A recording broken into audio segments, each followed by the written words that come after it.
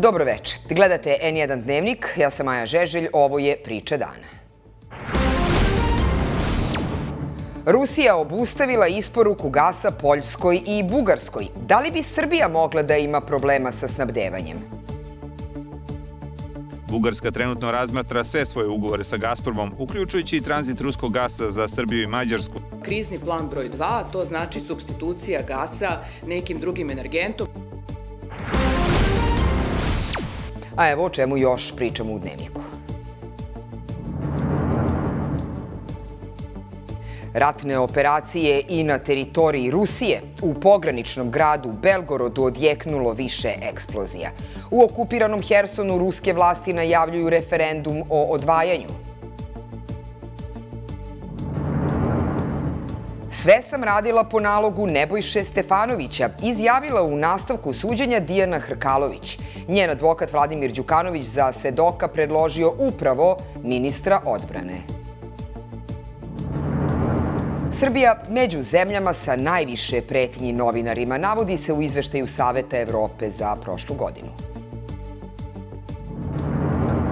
Novosadska Minakva razmatra ponudu Tesle za kupovinu dela kompanije. Priprema i uzorke vode za slanje firmi Ilona Maska. Sutra uglavnom oblačno uz slabu kišu temperatura do 18 stepeni.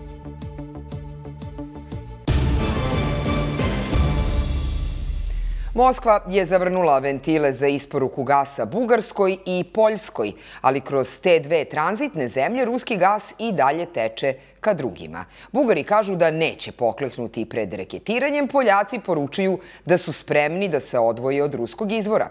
Srpska ministarka energetike Zorana Mihajlović objašnjava da se za sada Srbija redovno snabdeva ruskim gasom, da očekuje da Srbija gasi i Gazprom produže postojeći ugovor, ali i da je ozbiljno pitanje šta će biti od oktobra.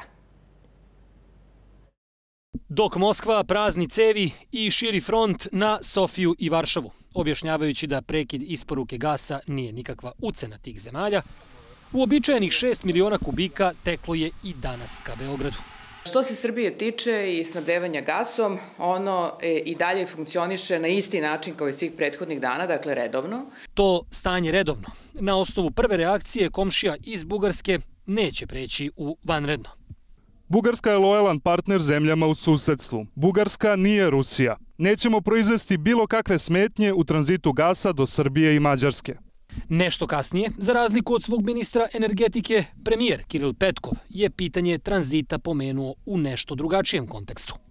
Suspenzijom gasa Rusija je prekršila ugovor i ucenila nas zbog namernog guranja rublje kao valute u načinu plaćanja. Nećemo pokliknuti nad takvim reketiranjem. Bugarska trenutno razmatra sve svoje ugovore sa Gazpromom, uključujući i tranzit ruskog gasa za Srbiju i Mađarsku, jer jednostrana ucena nije prihvatljiva. Ministarka Mihajlović kaže da je Bugarska trenutno 100% zavisna od ruskog gasa, pa objašnjava da ipak nije isključeno da se Sofija posluži gasom iz tranzita. Ukoliko u tom slučaju ovde ne budu stizale ugovorene količine, Srbija je spremila dva plana. Jedno je da koristimo gas iz Banatskog dvora, gde imamo sa sada za 21 dan samo u srpskom delu, u ruskom delu za 22 dana imamo gasa i dodatno da krenemo, ako je to potrebno, u e, krizni plan broj 2, to znači substitucija gasa nekim drugim energentom, obično je to mazut ili čak ograničenje ugovora. A Poljaci poručuju da su i onako planirali da krajem godine preseku ruski izvor. Moskva ih je, kažu, samo ubrzala. Poljska se pripremila za ovakav scenario, kako bi nabavila gas sa više strana. Tu su opcije preko Nemačke i Češke, a imamo i popunjenost skladišta od 76%. Spremni smo da zaštitimo domaćinstva od ovako dramatičnog koraka Rusije. Mađari spremili novac, preciznije rublje i ne brinu. Turska i Bugarska su nas uverile da neće biti problema sa transportom gasa, a i kroz Srbiju je takođe stabilan transport gasa. A naša sledeća obaveza prema ruskoj kompaniji dospeva 22. maja i mi ćemo platiti ugovorene količine. Srbija se, uverava nas ministarka, ponaša kao mrav, ne kao cvrčak. Već se misli o zimi kada će se potrošnja gasa uvećati i za tri puta u odnosu na trenutnu. Mihajlovićeva se pita hoće li od oktobra biti dovoljno gasa a mi smo je pitali kakva je sudbina ugovora sa Rusima koji ističe 31. maja. šta će Srbija gas i Gazprom dogovoriti za 1. jun. Ono o čemu se otprilike razgovara jeste da se možda napravi produženje tog ugovora, da se ne ide na novi dugoročni ugovor, e, nego da samo radimo produženje do kraja ove godine. Borba za gas može da počne. Država će, objašnjava ministarka, puniti svoja skladišta, tražiti slobodne kapacitete i u skladištima van Srbije, ali i razmatrati mogućnost zajedničke nabavke gasa sa Evropom. Nenad Nešić, N1, Beograd. Jednostrano zaustavljanje isporuke gasa potrošačima u Evropi predstavlja još jedan pokušaj Rusije da koristi gas kao instrument ucene, smatra predsednica Evropske komisije Ursula von der Leyen. Najavljuje da Unija planira koordinisani odgovor. Detalje ima evropski dopisnik N1 Nikola Radišić. Neopravdana i neprihvatljiva ucena. Na taj način Ursula von der Leyen komentariše odluku Rusije da uskrati snabdevanje prirodnim gasom Poljskoj i Bugarskoj. On optužuje Moskvu da energente koristi za ucenjivanje, poručuje da Bugarska i Poljska neće biti ostavljene na cedilu. Poljska i Bugarska dobijaju gas od svojih suseda, što pokazuje našu međusobnu solidarnost, ali i efektivnost ranijih investicija kao što su interkonektori i druga gasna infrastruktura. Poljska i Bugarska zvanično su ostale bez ruskog prirodnog gasa jer su odbile da ga plaćaju rubljama. Ali nisu svi tako odlučni, pa su prema nepotvrđenim medijskim izveštajima četiri evropske kompanije već platile gas u rubljama, a još desetak se priprema za to. Iz Brisela poruka i takvima. Ako plaćanje u rubljama nije definisano ugovorom, onda se radi o kršenju sankcija Evropske unije i jednostranim odlukama, jer oko 97% ugovora koje imamo predviđa plaćanje u evrima ili dolarima. Kompanije sa takvim ugovorom ne bi smele da plaćaju u rubljama jer to jeste kršenje sankcija koje može dovesti do kažnjavanja tih kompanija. Sve države Evropske unije pripremaju se za rapidno smanjenje uvoza energenata iz Rusije, a iz Brisela poručuju da će zavisnost od ruskih fosilnih goriva biti značajno umanjena već do kraja ove godine. Dodaju da je, pored toga, sa Sjedinim američkim državama već potpisan ugovor o dodatnim količinama gasa za Evropu, kao i da su pregovori sa drugim državama partnerima uveliko u toku. Sredinom sledećeg meseca Evropska komisija pripremit će, odnosno predstavit će plan za ubrzanje zelene tranzicije uz ambicioznu poruku da je era energetske zavisnosti od Rusije završena. Nikola Radišić, N1, Luksemburg.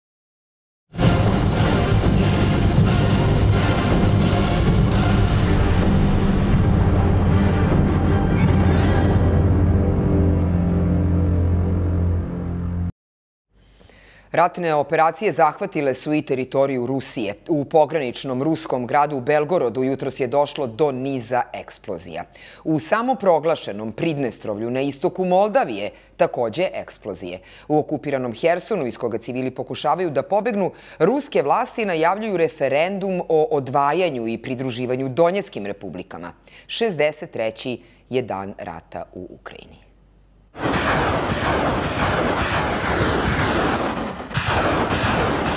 Ukrajinska vojska napala je raketama grad ruske položaje u oblasti Luganska. Odbili su tvrde 63 ruska napada i uništili 55 tenkova. Rusija saopštava da je preko noći gađala Ukrajinu projektilima, avionima, artiljerijom, ubivši najmanje 560 ukrajinskih boraca.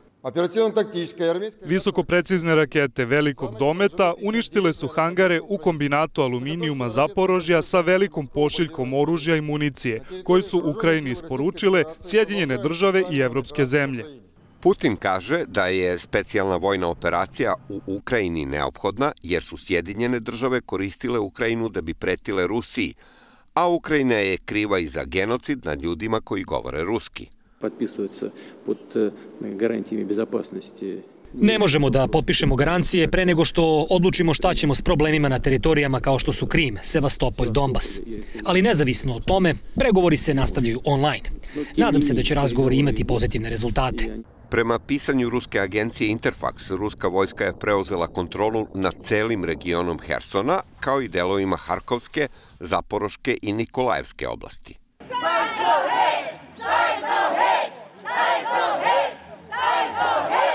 U strahu od mobilizacije u rusku vojsku građani Hersona, uglavnom žene, izašli su danas na ulice, nosili su ukrajinske zastave. Rusi su ih rasterali suzavcem. Najavljen je i referendum o odcepljenju od Ukrajine. A u okupiranom Mariupolju preostali stanovnici, uglavnom stari i žene sa decom, u dugim redovima čekaju penziju. Kažu, nije ih briga od koga novac dolazi. Prišli v pensionni fond stati na очередь. Došli smo u fond PIO da stanemo u red, da se registrujemo, da dobijemo penzije jer je novca ponestalo. Mi pristajemo na bilo šta. Svi već imaju peći ispred kuće. Kuvamo hranu na polju. Sakupljamo drva.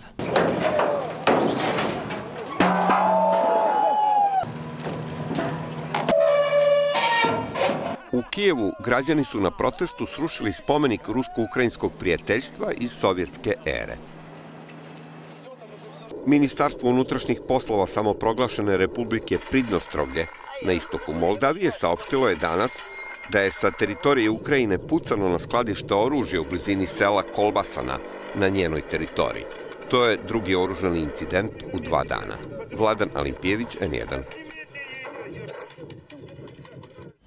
Osim srpskih mina koje su se mogle videti na snimku ruskih medija, u Ukrajini su završili i minobacači iz firme Prva petoletka, kaže za N1 novinar Nina Vukcvić. Na pitanje zbog čega se ne sprovodi istraga povodom dosadašnjih afera o izvozu oružja, on odgovara da je očito zarada prevagnula nad državnim interesom.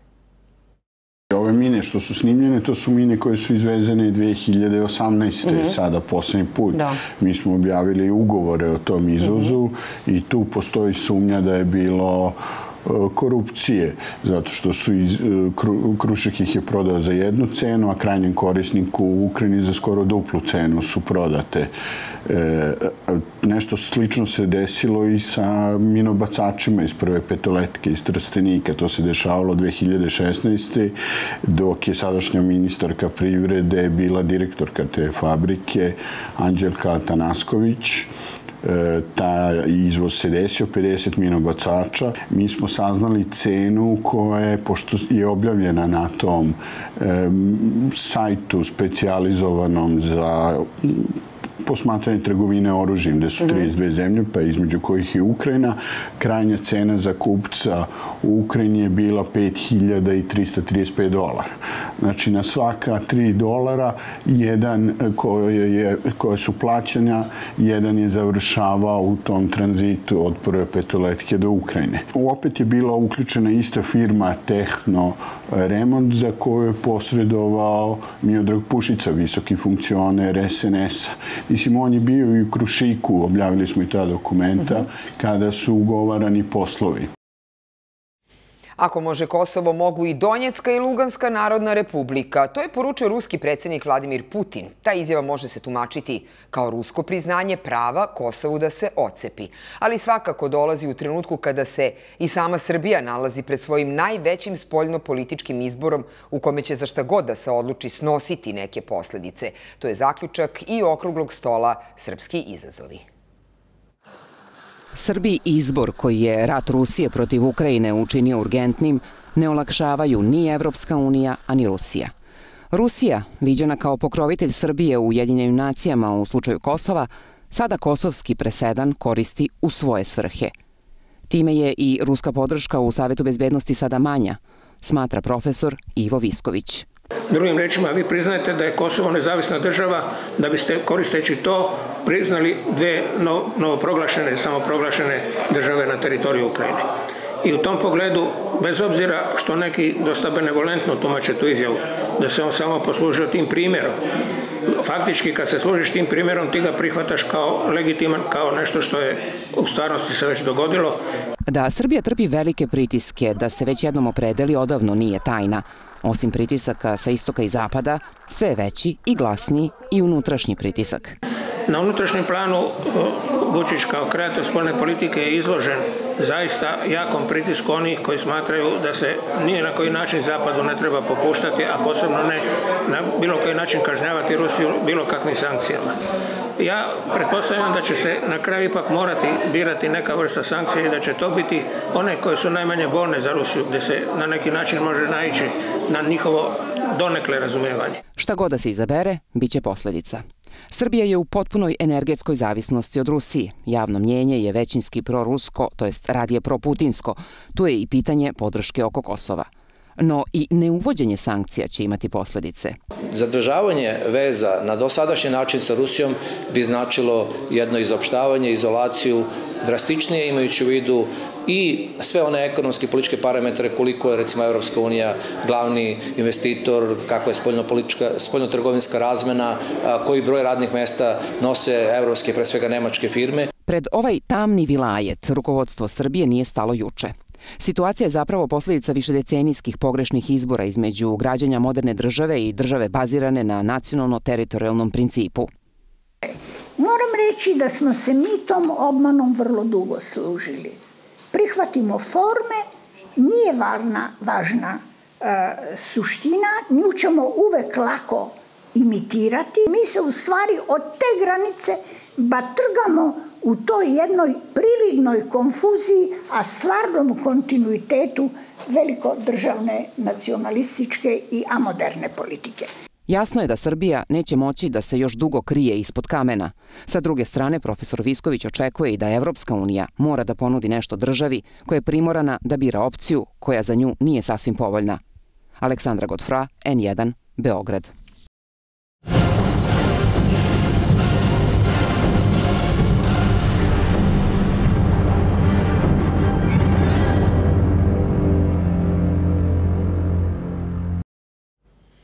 Bivša državna sekretarka MUPA Dijena Hrkalović ostaje u kućnom pritvoru pošto je sudsko veće odbilo zahtev odbrane da joj ta mera bude ublažena.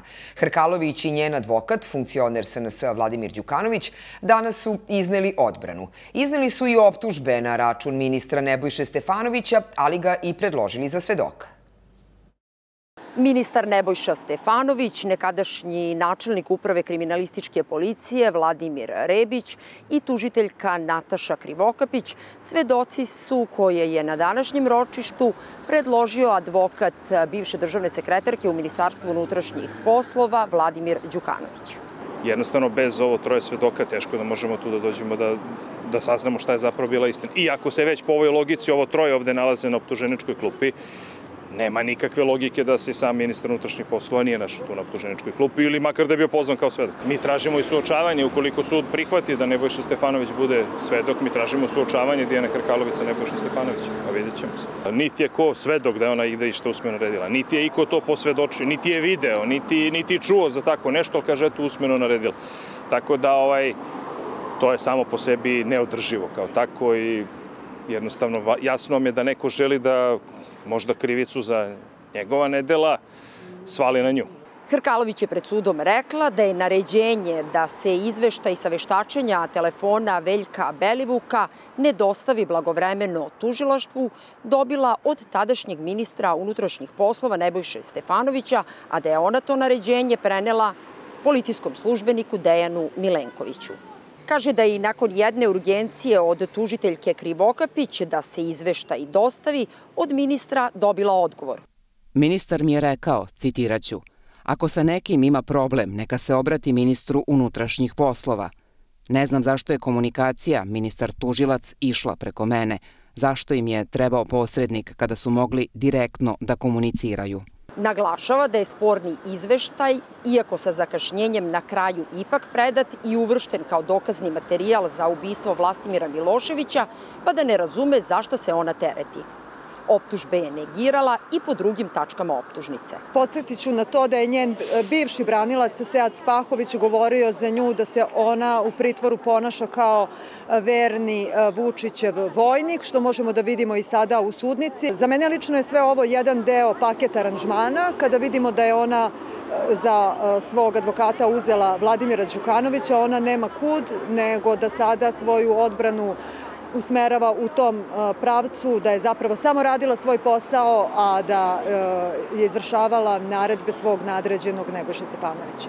Sledeće ročište zakazano je za 18. maj kada bi svoju odbranu trebalo da iznese policijski službenik Dejan Milenković. Na tom ročištu sud bi trebalo da odlučuje i o skidanju tajnosti za policijskog službenika Milorada Šušnjića, što je njegova odbrana zatražila kako bi na pravi način pred sudom mogao da se brani.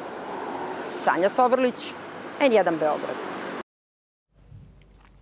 Procenat pretnji medijskim slobodama drastično je skočio u 2021. godini, to je pokazao izveštaj 15 medijskih organizacija partnera Saveta Evrope. Srbija se, pored još nekoliko zemalja, izdvaja kao država u kojoj su učestale pretnje novinarima po život, po zdravlje i fizički integritet. Svaki put kada ljude iz vlasti pitamo kako novac građana troše, kakve veze imaju sa kriminalcima, kada govorimo o antivakserskim ili ekstremnim desničarskim grupama, možemo da se nadamo pretnjama, uglavnom pozdravlja i život. Nekada ih čujemo i uživo, ali najčešće dolaze sa interneta.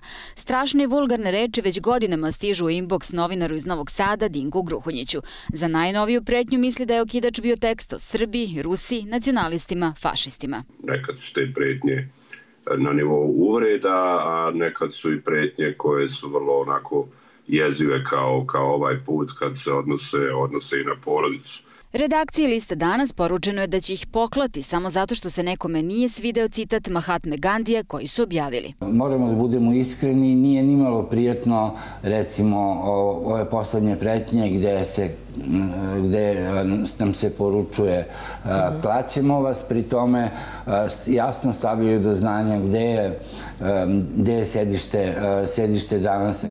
Svaki put kada nešto napiše ili izjavi o nacionalizmu, Gruhonjice kaže nada pretnjama. Ubeđen je da to ne radi grupa entuzijasta, već su napadi dirigovani i organizovani idu ruku pod ruku sa porastom populizma u Evropi.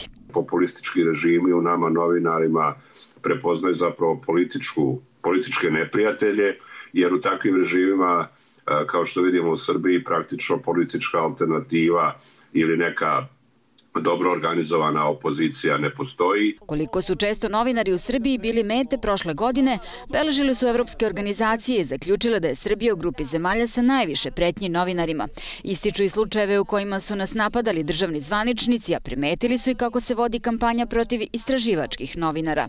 U Srbiji su slab tužbe uobičajena taktika protiv nezavisnih medija, a posebno je na meti neprofitna istraživačka mreža o kriminalu i korupciji KRIK. Uobičajeno, oni koji tuže medije traže da sud primora novinare da uklone tekstove, izvine se, objave ispravku i da se obavežu da u budući neće izveštavati o određenoj temi. Ima u izveštaju Saveta Evrope i nešto pozitivno. Radna grupa za bezbednost novinara osnovana krajem 2020. godine. I nije jedina takva, podsjeća pravnica Nunsa i dodaje da uprko svećem broju mehanizama zaštite novinara, situacija je loša. Država s druge strane štiklirate neke obaveze koje treba da, da ispuni prema upravo prema Evropskoj uniji i ostalim akterima koje, koje prosto daju određene preporuke kako bi se ta situacija poboljšala i mi dolazimo u situaciju onda da se to navodi kao neki pozitivan primer, kao pozitivna stvar i kao određeni napredak, ali suštinski e, mi tog napretka nemamo. Presudu za ubistvo novinara Slavka Ćuruvija autori izveštaja pozdravljaju, ali podsjećaju da i dalje nema kazni za ubistva novinara s Kosova. Kada je reč o istragama ubistava između 1998. i 2005. godine, značajnog napretka, kaže izveštaj, nema. Vanja Đurić, N1 Beograd. Do kraja dnevnika i ova priča. Meštani Lukavca kod Valjeva ponovo blokirali nastavak geoloških istraživanja bora i litijuma na tom području.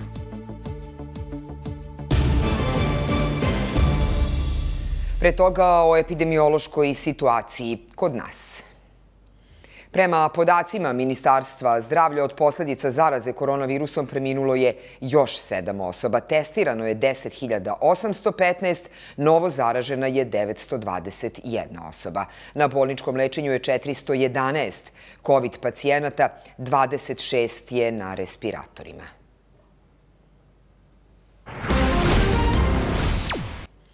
U Borskoj topionici poginuo je 48-godišnji radnik SJ, saopštila je kompanija Ziđin. U saopštenju se navodi da je radnik poginuo pod još uvek nerazjašnjenim okolnostima tokom pripreme za rušenje stare konvertorske hale i da su o nesreći odmah obavešteni hitna pomoć, inspekcija, rada, policija i tužilaštvo. U Valjevu su se ponovo pobunili meštani Lukavca i okolnih sela zbog nastavka geoloških istraživanja bora i litijuma na tom području. Rupe za nove istražne bušotine su spremne, ali i meštani su, kako kažu, spremni na blokade. Sledeću, uz pomoć ekoloških organizacija, najavljuju već za sutra. Budi se proleće, a sa njimi nove bušotine po Srbiji. Kompanija Eurolitijum radi na dva područja, u Valjevskom ioničkom basenu i Valjevu sever. Bušotine koje vidite tačno su na granici jer je osnovni sud u Valjevu u decembru doneo privremeno rešenje o zabrani rada te kompanije u Valjevskom ioničkom basenu. Meštani sela Lukovac već dva dana organizuju blokade puta pored njive na koje će biti nova geološka istraživanja bora i litijuma. E, treba da se borimo svi protiv ovoga, jer Valjevo je najzagađeniji grad u Evropi. A ako se ovo otvori, ovo će biti rupa kilometar, ogromna rupa i e, Valjevo će biti gasna komora. Hoću da živim u, u zdravoj sredini, da pijem čistu vodu i da razmišljam šta će biti i da ja moram da idem da pišem transparente, da se borim. Svaka vlada je moja vlada, te vlada moje države. To su njihove njive, njihovo vlasništvo imaju pravo na to. Ali je vazduh naš i voda je naša i mislim da imamo i mi pravo da tražimo e, naše. Iz organizacije Kreni promeni podsjećaju da će kompanije koje se bave istraživanjem i rudarenjem litijuma otići iz Srbije te kada iskopavanje bude zabranjeno zakonom bušotine se bude očigledno nakon izbora. Ono što očekujemo vlasti je mogla da reši ovo pitanje usvajanjem zakona o zabrani iskopavanja bora i litijuma, pošto vlast ne želi to da radi, ona samo treba da posluša narod koji je kroz preko od 34.000 potpisa za narodnu inicijativu predložio, predložio zakon i 60 naučnika, akademika i profesora koji ukazuju da će iskopavanje bora i litijuma biti ekološka katastrofa. tako, s obzirom da, da je stranka vlasti nastupala na ovim izborima kao neko ko je oterao a, Rio Tinto, oni moraju da shvate da legitimitet koji su dobili jeste direktno vezan za pitanje iskopavanja bora i litijuma i da koliko neće biti iskopavanja bora i litijuma u okolini Jadra, ne sme ga biti e, ni u Valjevu. I meštani Rekovca kod Jagodine primetili su da su se prethodnih dana u selo vratili predstavnici kompanije Balkan Mining and Minerals, koji se takođe bave istraživanjem bora i litijuma, a iz Jadra od januara, od kada je navodno zaustavljen projekat, upozoravaju da Rio Tinto i dalje kupuje imanja. Žaklina Tatalović, N1, Beograd. Nakon niza avangardnih poslovnih poduhvata, proizvodnje električnih automobila, lasiranje prve rakete, u privatnom vlasništvu u svemir i poslednje kupovine društvene mreže Twitter, biznismen i inovator Elon Musk navodno je odlučio da se upusti u posao sa vodom za piće. Naime, kompanija Tesla Motors u vlasništvu Ilona Muska obratila se nekolicini evropskih proizvođača mineralne vode, među kojima je i novosadska kompanija Minakva. U istom danu kada je vest da je kupio Twitter postala globalna, objavljena je i jedna lokalna. Elon Musk se naime zainteresovao i za jednu novosadsku kompaniju. Tesla je pismenim putem iskazala interesovanje za saradnju sa kompanijom Minakva, koja bi uključila i akviziciju jednog dela kompanije. Ozbiljno ćemo razmotriti ponudu, a uzorci vode za slanje se pripremaju. Tesla je kontaktirala i još nekoliko kompanija u Evropi koje imaju vodu sa prirodnim jodom, a za nekoliko nedelja će biti poznato više detalja. Kompaniju Minakva smo pitali šta je za sada ponudio potencijalni investitor. Da li je poznato koji deo firme bi bio predmet akvizicije i koji je interes da se ostvari saradnja sa korporacijom Ilona Maska. Kratko su odgovorili da ne žele od ove situacije da prave reklamu i da će odluku o eventualnoj saradnji doneti radnici i porodice koji imaju udeo u vlasništvu od 60% i strani investitor koji ima 40% vlasništva. A koji bi mogao da bude interes zvanično najbogatijeg čoveka na planeti? Pametni ljudi su odavno shvatili da će voda biti deficitarna i da će njena cena rasti.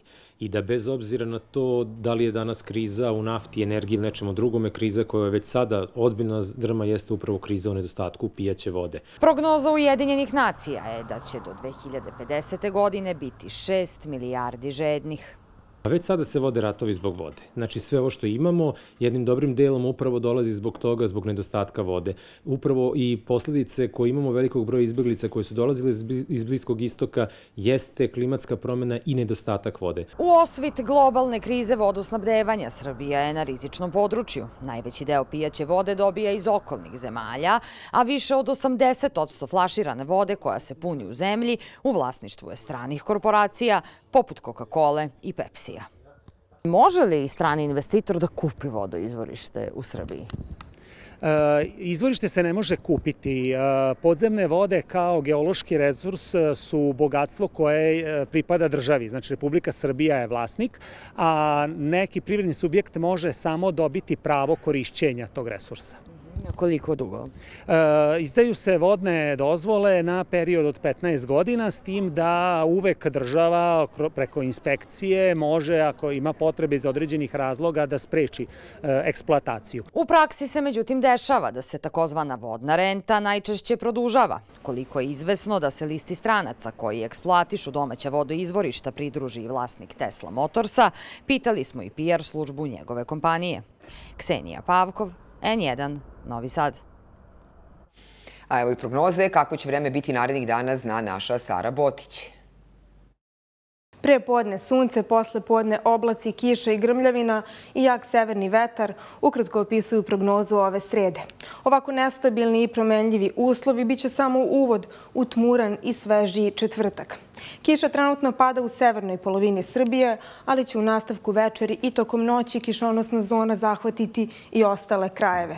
Sutra će biti tmurno uz oblake, slabu kišu, severni vetar koji će imati slab do umeren intenzitet. Krajem dana sledi razvedravanje. Minimalna temperatura u noći pred nama kretaće se u intervalu od 7 do 11 stepeni. Tokom dana će biti svežije i za 5 do 10 stepeni temperatura niža nego danas. Maksimalna će biti od 14 do 18. Potpuno razvedravanje i prestanak padavina očekujemo u petak. Temperatura će ponovo biti u porastu, pa do kraja nedelje očekujemo oko 20 stepeni. U danima vikenda biće pretežno sunčano i mirno. Toliko o vremenu za ovu sredu. Želim vam prijetno večer.